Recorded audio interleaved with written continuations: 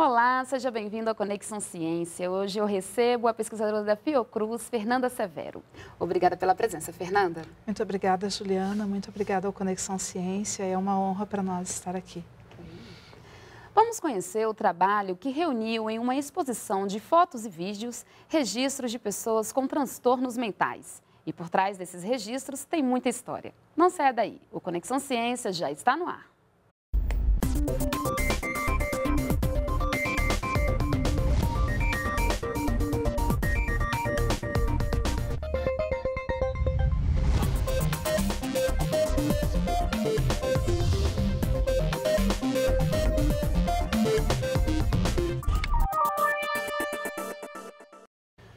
Tratamentos com eletrochoques, banhos frios, máquinas giratórias e sangrias.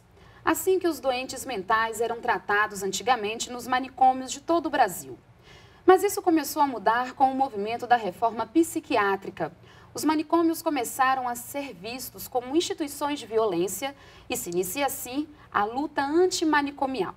Toda essa história é contada por meio de fotos e vídeos que estão expostos na Fiocruz Brasília. Fernanda, né, vamos começar explicando como é que surgiu a ideia né, de mostrar por meio de fotos e vídeos essa história.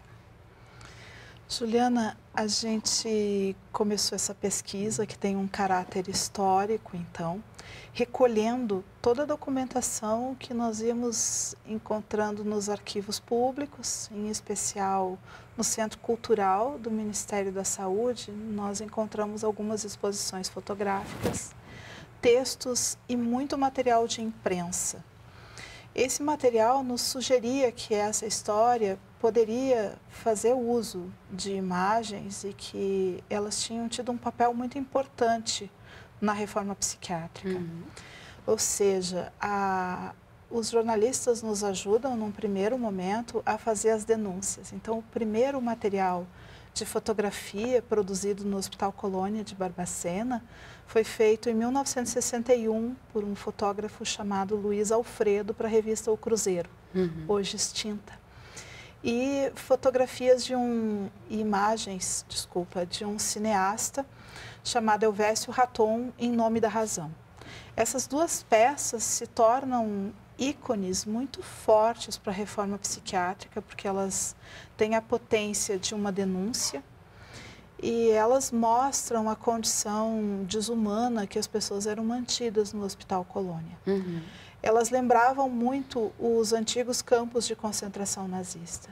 E isso chama a atenção na imprensa nacional e também internacional, potencializa vários movimentos. E dentre eles, então, o Franco Basaglia e o Michel Foucault, que são referências nós vamos desdobrar em seguidinha, eles uhum. visualizam isso no Brasil e se colocam como pessoas que vão apoiar a nossa, a nossa reforma psiquiátrica. Eles são referências muito importantes uhum. intelectuais, mas também de prática, no caso do Basaglia, em relação à reforma italiana. Então, o, foi o próprio documento histórico, foi a própria história que nos indicou que tinham materiais e que eles tinham essa potência. Uhum. Ao analisar as exposições e os catálogos que foram produzidos pelo Centro Cultural do Ministério da Saúde, nós percebemos que a partir dos anos 2000 essa era uma comunicação recorrente, a fotografia era utilizada para contar a história, não havia uma não havia uma inovação aí. Havia sim uma compreensão de que era uma linguagem que se comunicava efetivamente pelo Brasil inteiro. Sim circulavam pelo Brasil também. Uhum. E daí, diante é, né, dessa riqueza de material, começou a surgir essa ideia de fazer uma exposição? Sim.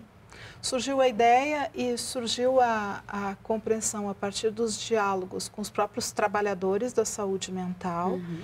e com os usuários, que é como a gente chama as pessoas hoje no Brasil que vivem com o sofrimento psíquico, é, eles começam a pedir espaço de voz e de fala direta. Uhum. Eles começam a, a externar o, o, desejo de se autorrepresentarem e que é uma movimentação própria da reforma psiquiátrica brasileira uhum. que os envolve. Então, a gente grava vídeos, a gente grava uma série de materiais colocando a história deles na primeira pessoa. Uhum. Eles mesmos uh, contando o que eles vivenciaram. Uhum. E aí a gente percebeu que as mudanças que estavam acontecendo no Brasil, no campo dos direitos humanos, na garantia de direitos à saúde em especial, mas à liberdade e à vida, elas precisavam de alguns diálogos mais contundentes de resgate uhum. histórico. É aí que a gente resolve, então, contar essa história de uma outra forma. Essa exposição, né, instalação, vocês chamam de instalação, né, uhum. é, com esse material multimídia, ela, ela pode ser dividida em três ciclos, é isso?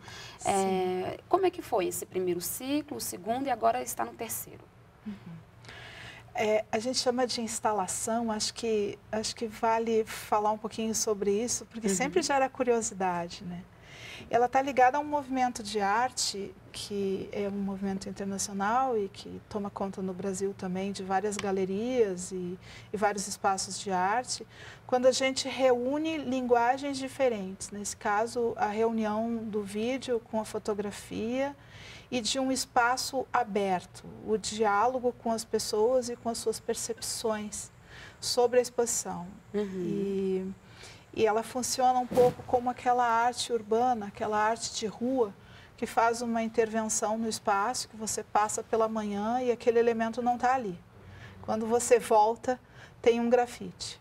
Então, essa era a intenção para gerar pelo menos a emoção da transformação uhum. e da ocupação do espaço de rua, porque o que nós percebemos no diálogo direto com os usuários da saúde mental é que eles ganham a casa fora do hospício, e a gente vai detalhar um pouquinho isso, mas eles ganham o espaço da rua. E esse espaço ocupado como um ato comunicacional, de trocas sociais, de interação, é o que realmente é libertador. Uhum. A gente tentou trazer isso para dentro da exposição, como conceito. Então, ela sempre trabalha com o, o espaço da rua e o espaço aberto para o diálogo. Essa também foi uma outra estratégia, porque nós não temos todos os resultados dessa pesquisa. Nós fizemos a coleta de dados, tudo com base de qualitativa, Sim. tem alguns elementos quantitativos no tocante aos serviços e à rede de atenção psicossocial em si, mas todo o trabalho em que eu estou vinculada dentro dessa equipe, ele tem uma ordem de evidências qualitativas. Uhum. E nesse sentido, nós resolvemos então organizar o que a gente já, já tinha, o que a gente já possuía e que poderia colocar público em função da urgência social. Sim. E em função da possibilidade de abertura desse material para a população uhum. poder fazer seus próprios questionamentos e algumas compreensões também acerca do desenvolvimento histórico da saúde mental no país, uhum. o que, uhum. que nós temos como conquistas reais. Então, o primeiro ciclo, ele surge como uma ação experimental, aberta no contexto do, do encontro da Associação Brasileira de Saúde Coletiva, a gente chama de Abrascão, que foi em julho do ano passado, então na Fiocruz do Rio de Janeiro, Sim. e nós ocupamos um espaço no centro de recepção do Museu da Vida, uhum. que é muito central e é um lugar onde passa muita gente, e, e nós interpelávamos as pessoas que visitavam a exposição sobre as suas opiniões. Então, uhum. era um, um, uma coleta de percepções delas, mas também uma, um diálogo que se abria para ver o que, que elas gostariam de saber mais sobre aquilo. O que, que a gente não tinha dito. E a gente divide, então, ali como núcleo histórico, uhum. resgata na íntegra uma exposição que havia ocorrido em 2007, uma destas que eu referenciei antes, uhum. que estava ligada ao programa de volta para casa, porque era uma das pesquisas em curso dentro do núcleo de saúde mental, onde, onde eu estou vinculada. E a gente e um núcleo contemporâneo, ou seja, nós voltamos ao lugar e, e fizemos fotos novas uhum. daquelas pessoas e vídeos também como making off. Então, só, só para eu entender, Fernanda, a, o tipo de registro que, é que as pessoas vão encontrar lá é, são registro fotos e vídeos de, de quando essas pessoas estavam é no, no, no, caso no manicômio de Barbacena, não é isso? Uhum. E depois também um, o registro de como elas estão hoje, é isso? Não. Elas, as pessoas vão encontrar o, um pouco da história dos manicômios, mas muito mais em forma textual e em forma de imagens da arquitetura, são uhum. espaços vazios, era uma demarcação nossa de que aquele lugar havia sido esvaziado do terror. Uhum de alguma maneira. Sim. Então você, vai ver assim a estação vazia, as salas vazias dos pavilhões do Hospital de Barbacena, uma foto que remete como um símbolo, como um ícone ao, a esse conjunto documental de fotografias do Luiz Alfredo, que eu comentava antes, que Sim. é de 1961 e 1979, é uma foto de grandes dimensões mas que foi capturada em 2007. Para nós ela é uma foto símbolo assim da solidão, da exclusão que era cometida no manicômio. Uhum. Mas a gente fez uma opção clara até para nós de não não colocar as imagens em fotografia antigas. Uhum. Nesse momento, pelo menos, pode ser que isso venha a mudar na, nos, nos novos ciclos, mas a gente não coloca as fotos da internação. A gente coloca algumas imagens que estão no Museu da Loucura, que está situado em Barbacena, no antigo complexo do hospital, e, e remete algumas informações sobre a, a, ao eletrochoque, a eletroconvulsoterapia, que era uma das terapêuticas Utilizadas, né? Muito utilizadas e, e alguns dados numéricos sobre o hospital uhum. e textos políticos da estrutura da política pública de 2007. Uhum. É uma opção clara de não colocar o holofote sobre o que se convencionou chamar de Holocausto brasileiro Sim. naquele momento. Então, é, esse material das fotografias a gente edita mais recentemente uhum. e acha por bem, no início de janeiro, colocar ele visível em alguns dos nossos recursos educacionais e, em uma digitalização que está sendo feita da exposição. Uhum. Porque a gente compreende que algumas pessoas não sabem, apesar de ter sido amplamente divulgado sobre, sobre essa questão do Hospital de Barbacena, com aquela obra da Daniela Arbex, O Holocausto Brasileiro, que vira uma espécie de best-seller sobre a temática, uhum. a gente percebe que muitas pessoas ainda desconfiam e, e, acham que a situação não foi tão grave Entendo. quanto foi. Fernanda, então daqui a pouco nós continuamos a nossa conversa, ok? Tá certo. Vamos para um rápido intervalo e voltamos já.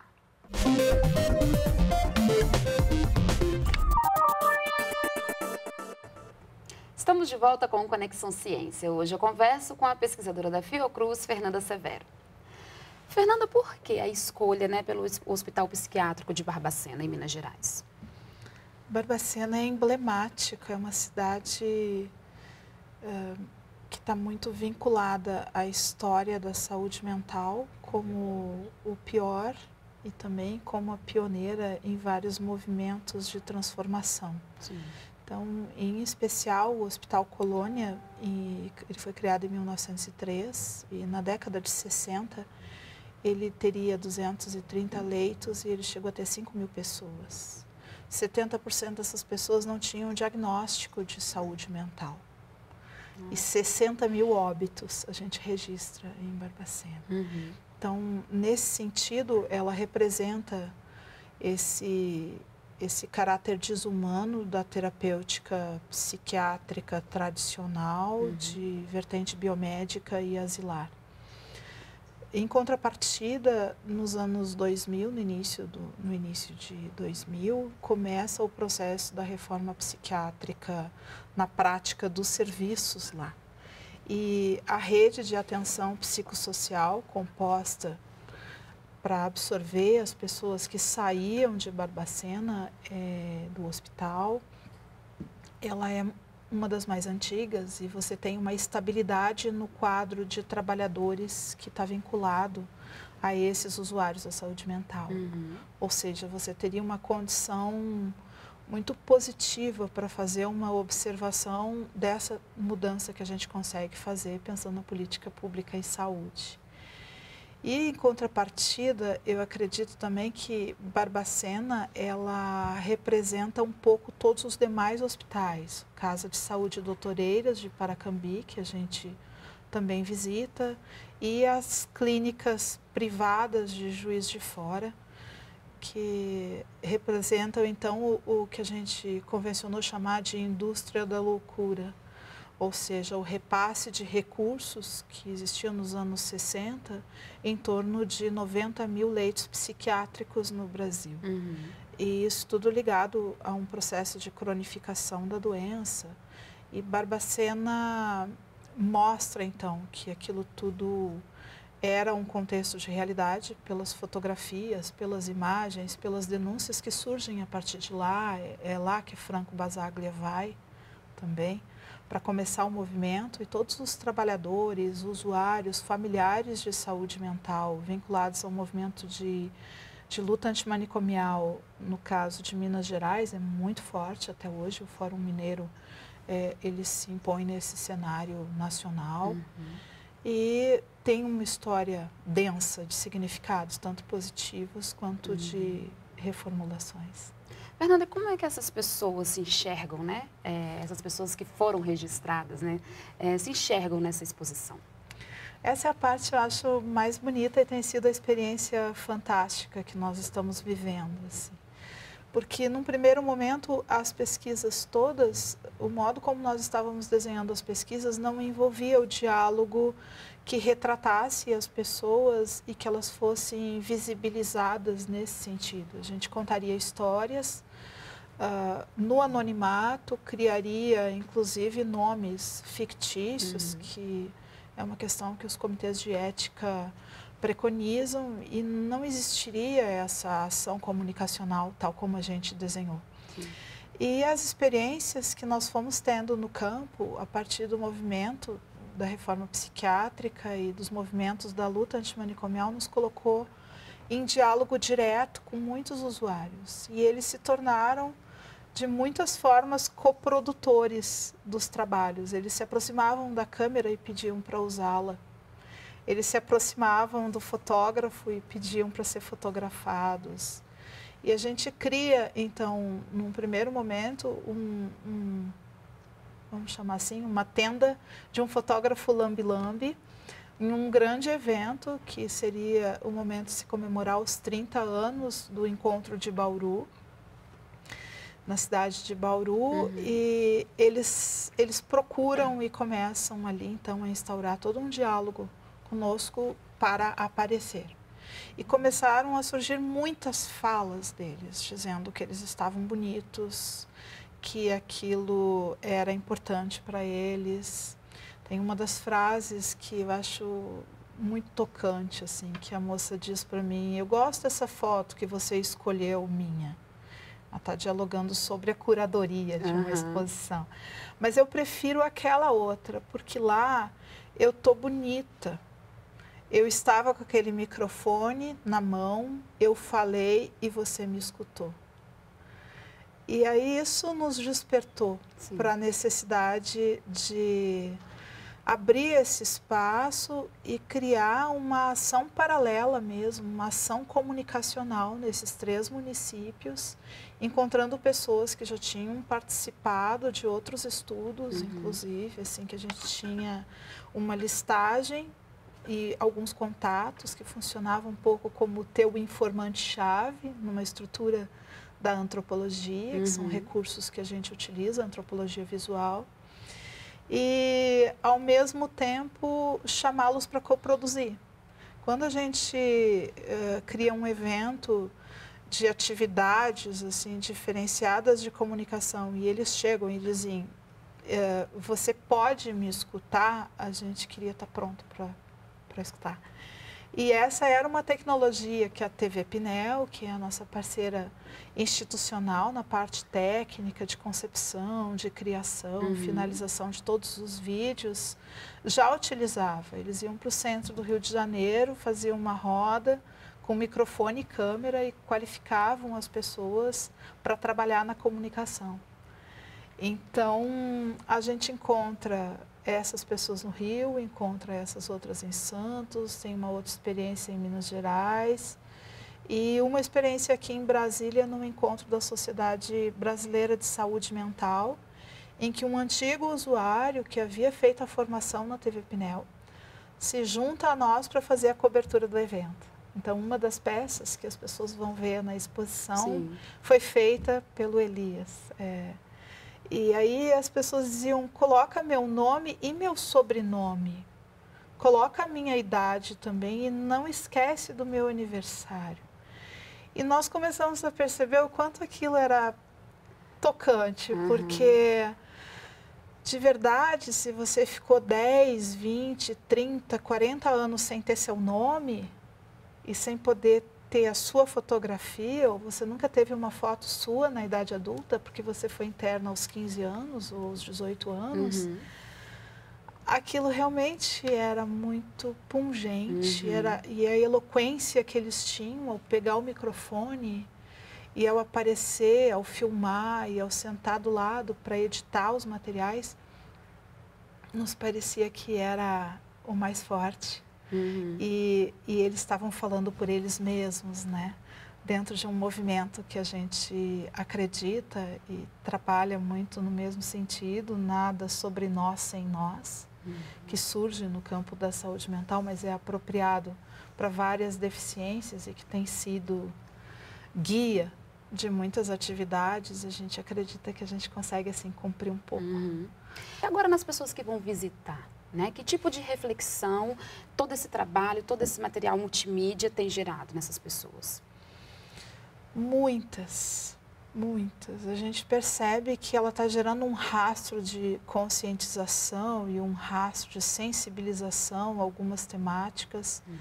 que eu não consigo ainda aferir completamente, mas eu posso relatar um pouco do que a gente visualiza. Primeiro, são públicos muito diferentes, uhum. porque o primeiro ciclo da, da instalação tiveram oito edições, dentre elas a gente passa por esses grandes eventos, como eu falei, mas a gente fica na Procuradoria Federal dos Direitos do Cidadão também. E a gente vai dialogar com o público do judiciário, vai dialogar com o público acadêmico, a gente vai conduzir alunos da residência para uma espécie de aula uh, pública. Daí, nos eventos, as pessoas muito próximas do campo da saúde mental já reconheciam algumas imagens, tinham relatos de alguns daqueles personagens.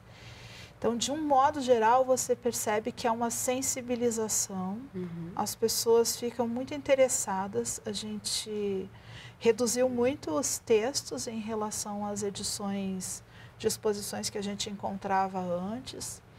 A gente incorpora parte dessa exposição antiga de 2007 que eu lhe falei.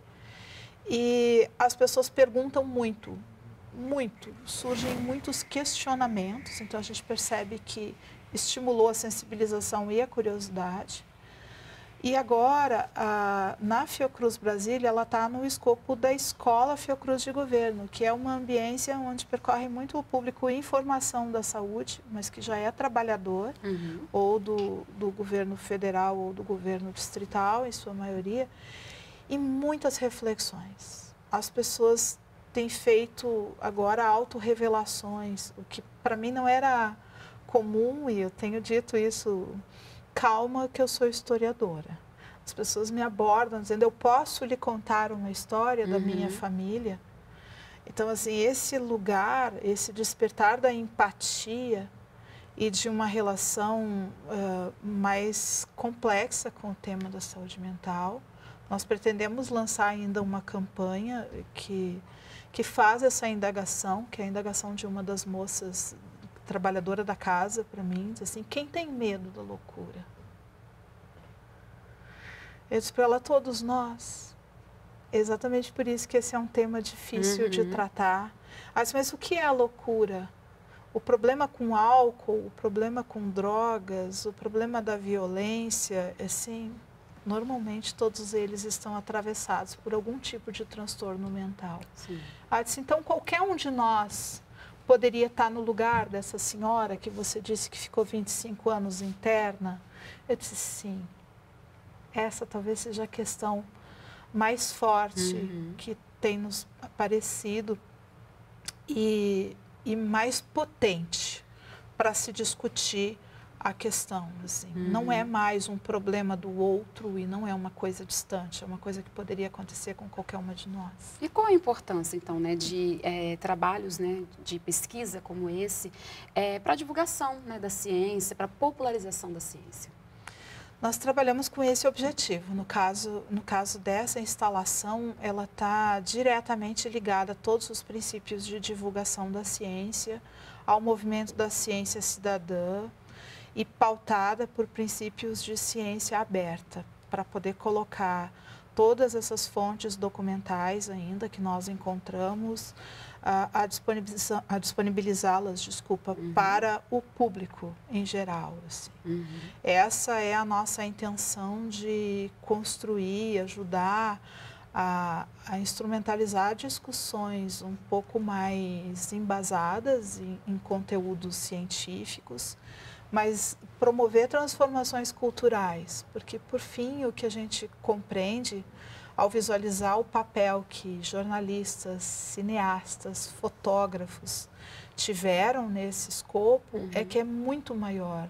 A reforma psiquiátrica brasileira se constitui por uma dimensão cultural muito profunda que precisa de transformações assim do nosso processo civilizatório. Nós vamos ter que enfrentar algumas questões nossas, pessoais, íntimas, de, de fórum social Sim.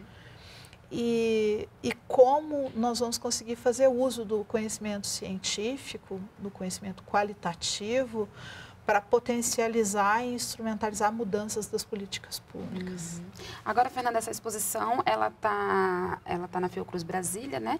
Mas a ideia é colocá-la também virtualmente, é isso? Sim, a gente tem expectativas de levar ela para mais dois lugares, assim, de retornar a Paracambi e a Juiz de Fora para fazer uma devolutiva para as próprias pessoas. A gente conseguiu fazer isso em Barbacena, Uhum. Mas a gente está trabalhando na virtualização dela. Fernanda, eu agradeço a sua presença aqui no nosso programa e parabéns pelo trabalho que vocês realizam lá na Fiocruz. Muito obrigada, Juliana. Foi um prazer para nós o diálogo e nós estamos à disposição para o que vocês precisarem. Tá certo. E o Conexão Ciência termina aqui. Confira os dias e horários das reprises na página da EBC ou da Embrapa na internet. O programa também está disponível no canal da TV Brasil no YouTube. Obrigada pela companhia e até a próxima semana.